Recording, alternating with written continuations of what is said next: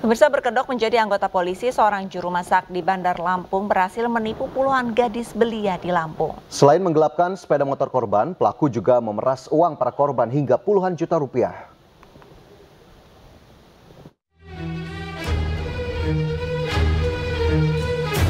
Akal bulus Anang Istiawan melakukan aksi penipuan dengan berkedok menjadi anggota kepolisian Polda Lampung akhirnya terbongkar. Setelah salah satu korban berinisial LFP 24 tahun melaporkan kasus penipuan yang dilakukan pelaku ke Mapolsek Sukarame.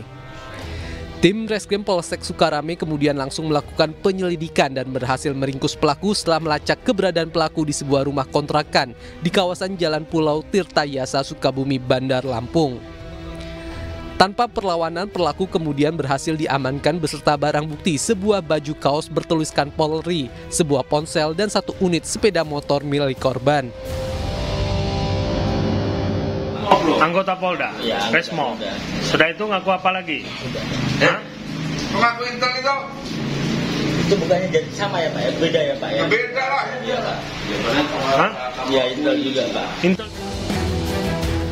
Pelaku melancarkan aksinya sejak tahun 2022 dengan modus menjadi polisi gadungan untuk memperdayai dan menipu para korbannya.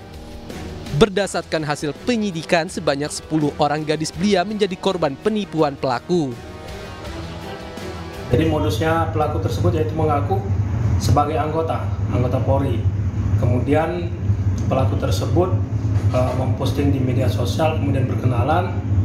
Lalu uh, setelah berkenalan, kemudian pelaku melaku, me- Merayu. merayu, merayu untuk meminjam sepeda motor atau meminjam uang, di mana uh, pelaku meminjam uh, mengambil motor tersebut lalu digadaikan.